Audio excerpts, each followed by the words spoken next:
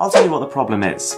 Smartphone cameras are getting very, very good, or at least they are on flagship devices. Now in order to make people buy their more profitable flagship phones, companies have to somewhat downgrade their more budget-oriented phones. And unfortunately, one of those places where those cuts come is in camera quality. So if you are still stuck on a budget phone like the G5 Plus over here, in this video I'm going to show you how you can still make some killer video footage. With that being said, let's get started.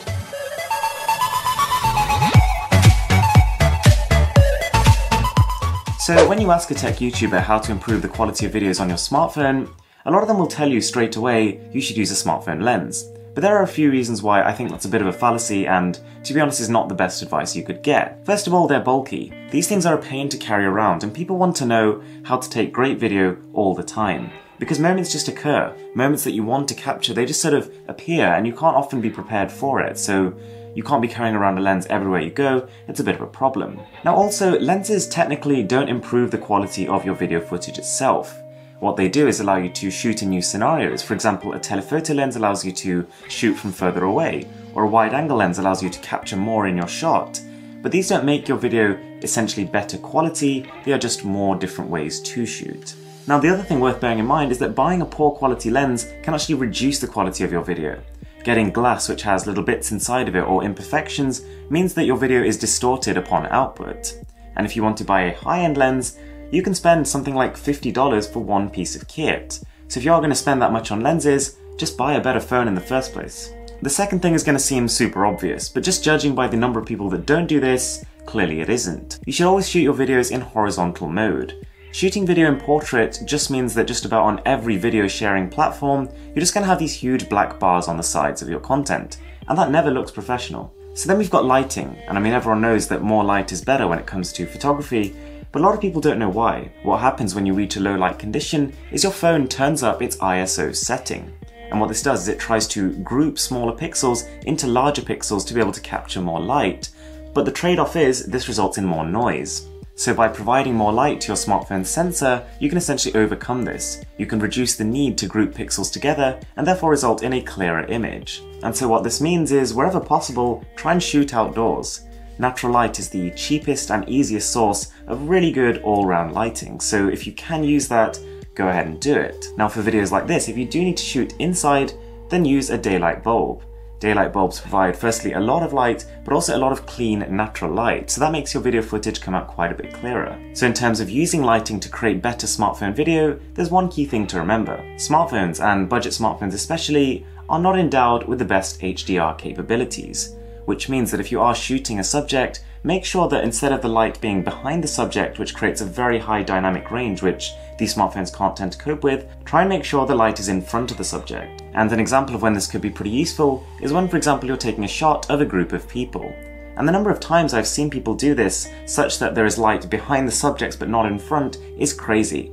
So don't do that. So then there's stabilization, and for this I'm going to say there are three main topics, and the first one is this. This is an attachment that allows you to clip your smartphone onto a tripod. Now what this does allow you to do is to take super smooth, super steady footage. But the trade-off is that first of all, you need a tripod, which is big, bulky, and can be expensive, and you also need an adapter.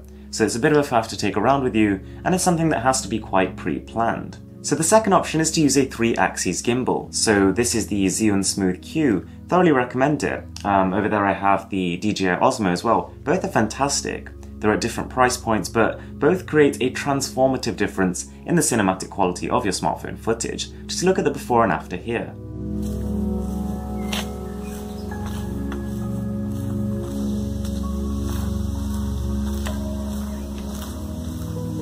So then we have something called electronic image stabilization, and with a lot of smartphones, especially lower end smartphones that don't have optical image stabilization, this effect is built in by default. And it can be effective, if, for example, you're holding your smartphone, you're consistently moving in a certain direction, or you're tracking a certain object, then sometimes electronic image stabilization can reduce the shakiness in that. If, however, you're walking down a street and your phone is going like this and just jumping up and down, then actually all it's going to end up doing is making it seem very unreal it's going to create a pretty poor attempt at trying to stabilize it, and in the end it's just going to look like it's heavily edited. And this is why with GoPros for example, which are cameras meant to capture a lot of action, to capture running, skiing, jumping, all this kind of stuff, they tend to by default have a very minimal amount of electronic image stabilization because in those kind of shots where there's so much action, you're probably better off without it. And then probably the most overlooked aspect of taking good quality video is sound quality. So with this simple attachment here, it splits the 3.5mm connection on your smartphone into input and output.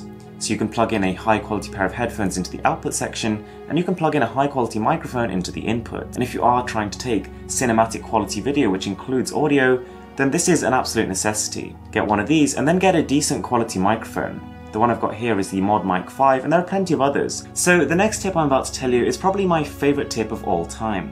What you can do is shoot your smartphone video at 30 frames per second as normal, but then when you put that video into your video editor, slow it down to 80% of its original speed, i.e. 24 frames per second. So what that does is actually creates a slight amount of slow motion in the video, which number one is cinematic in itself, number two hits the target frame rate of 24 frames per second, and number three, just because everything's moving a little bit slower, your video is actually more stabilized. And so depending on what your end objective for this video is, you may want to continue making it more cinematic. Now one way of doing this is to change the aspect ratio from a 16 to 9, which is a standard out of a phone like this, to a 21 to 9. That is considered a cinematic ratio, and that creates these known black bars on the top and the bottom of the video, which some people like, some people hate, and it's up to your discretion whether or not you want to use them. And so the other thing is color correction. Depending on the kind of look you're trying to create, you might want to add warmth to a certain shot, for example, or you might want to take it away. Anyway, guys, I really hope you enjoyed that video. I've got tons more videos like this, tutorials, other things that you can do with your smartphone,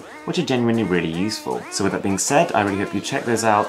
I'm Mr. Who's the Boss, and I'm signing out.